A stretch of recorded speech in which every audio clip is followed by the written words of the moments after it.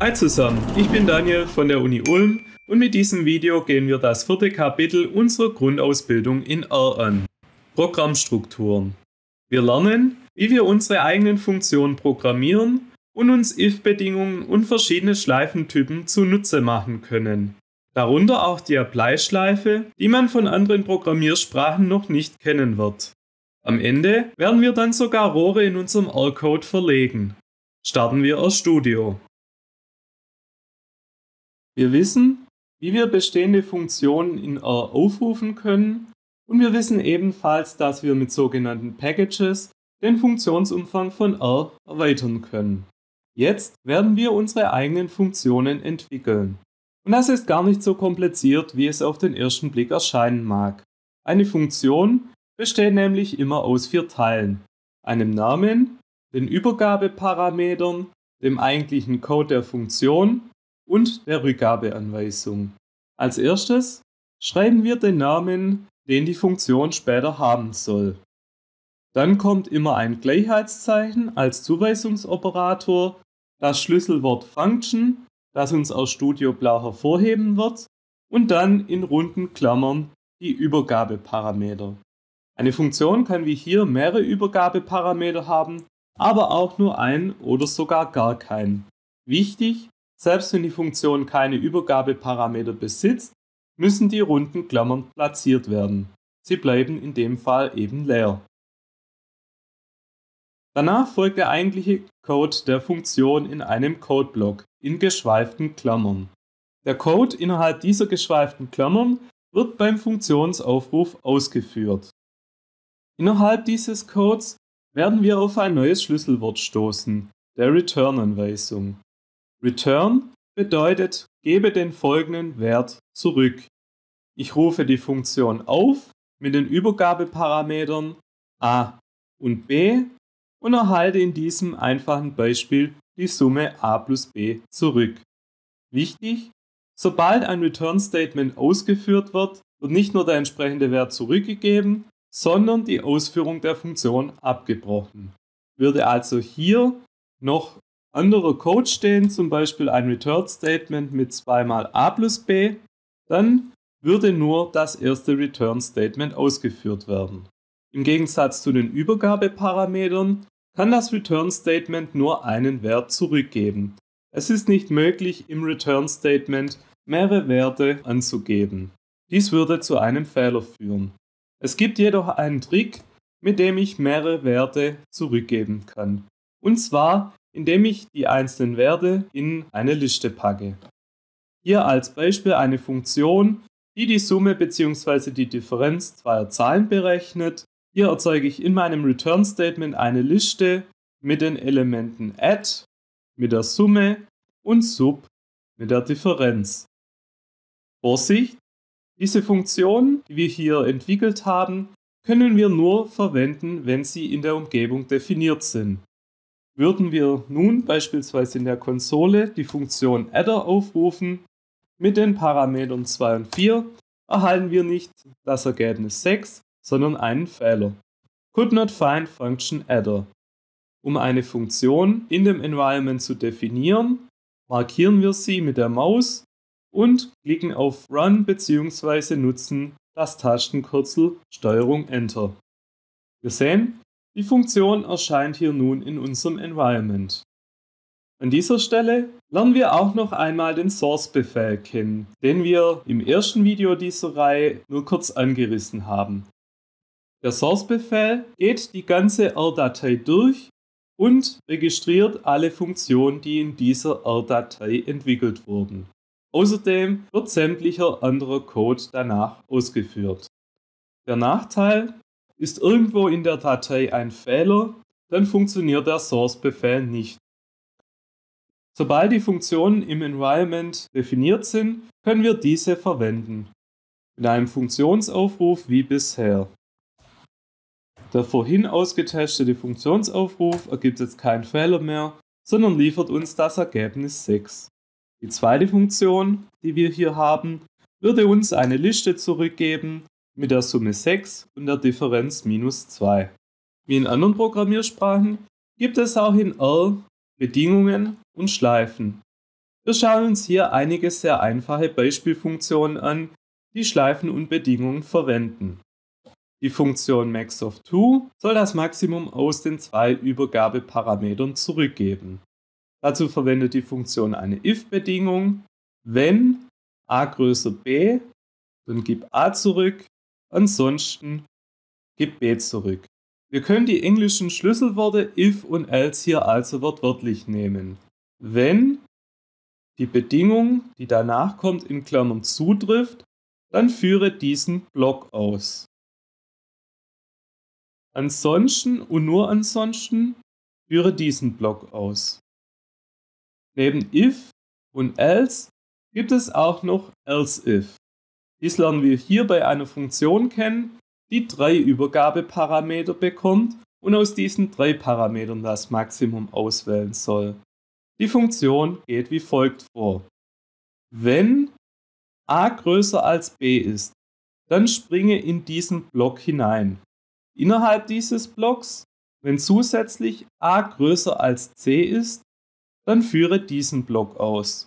Weise der Variable d den Wert a zu. Ansonsten und nur ansonsten weise der Variable d den Wert c zu. Falls die Bedingung hier nicht zutrifft, überspringe diesen Block vollständig und mache hier weiter. Wenn dies nicht zutrifft, aber b größer als c ist, dann springe in diesen Block rein und weise d somit den Wert der Variable b zu. Falls diese Bedingung hier auch nicht zutrifft, überspringe diesen Block ebenso. Und weise der Variable d den Wert c zu. Der else-Block hier unten wird also nur ausgeführt, wenn diese Bedingung nicht zutrifft und damit dieser Block übersprungen wird und auch diese Bedingung nicht zutrifft und damit dieser Block übersprungen wird. Am Ende wird immer die Variable d zurückgegeben. Bei den Schleifen schauen wir uns zunächst die auch aus anderen Programmiersprachen bekannten Weil- und Vorschleifen an. Hier definieren wir eine Funktion, die das Maximum aus einem Array zurückgeben soll. A ist ein Array, der beliebig viele Zahlen enthält. Was macht die Funktion? Zunächst schaut sie sich das erste Element an und speichert es in der Variable max. Dann wird ein Index auf den Wert 2 gesetzt. Nun folgt die eigentliche Schleife. Solange diese Bedingung hier zutrifft, führe den folgenden Block immer wieder aus.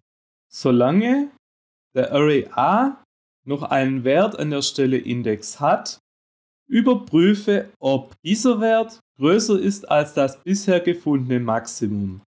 Falls ja, führe diesen Block aus. Speichere dieses Maximum in der Variable max. Was ich jedoch immer mache, ist den Zellindex um 1 erhöhen. Bei jeder Ausführung greift die Schleife also auf ein späteres Element des Arrays A zu, bis es irgendwann einmal kein Element mehr gibt an dieser Indexstelle und dadurch eine Not a Number produziert wird. In diesem Falle springe ich aus der Schleife raus und führe den weiteren Code aus. In diesem Fall nur noch das Return Statement. Gebe das gefundene Maximum zurück. Wir können diese Funktion auch mit Hilfe einer Vorschleife implementieren. In dem Fall gehen wir ganz ähnlich vor. Wir definieren eine Variable max und speichern dort zunächst das erste Element des Arrays, setzen einen Index auf 1 und dann kommt die Vorschleife in der wir diesen Index über einen bestimmten Bereich laufen lassen. Und zwar über den hier mit dem Sequenzoperator definierten Bereich von 1 bis die Länge des Arrays. Hat der Array also 5 Elemente, geht die Sequenz von 1 bis 5. Auch hier ist er deutlich flexibler als zum Beispiel C und Java. Bei C und Java können wir den Indexwert nur von einem bestimmten Startwert zu einem bestimmten Endwert laufen lassen und vielleicht noch eine bestimmte Schrittweite definieren. Hier können wir letztendlich aber auch statt der Sequenz einen völlig freien Pfad definieren, über den die Schleife laufen soll. Innerhalb der Schleife machen wir dann dasselbe wie bei der While-Schleife. Für jeden Indexwert, den wir untersuchen, schauen wir, ob der Wert an dieser Stelle größer als das bisherige Maximum ist. Falls ja, führen wir diesen Block aus und speichern somit das Maximum in der Variable max. Sobald die Schleife durchgelaufen ist, das heißt, wenn der Wert Index den letzten Wert dieses hier erzeugten Vektors erreicht hat, geben wir das gefundene Maximum zurück. Neben den gängigen While- und For-Schleifen bietet uns R zusätzlich die sogenannten Apply-Funktionen. Diese führen eine Funktion mehrfach aus.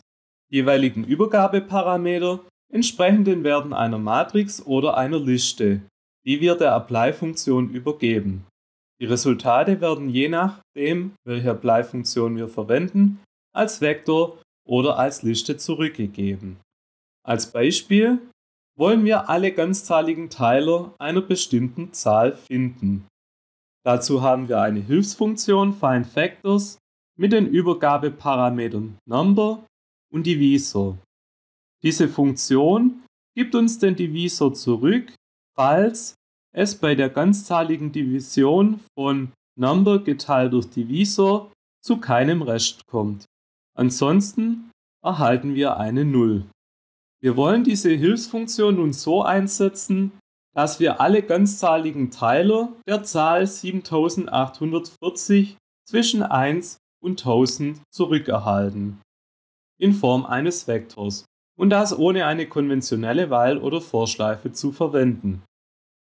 Als erstes Beispiel wollen wir dies mit der Funktion apply realisieren.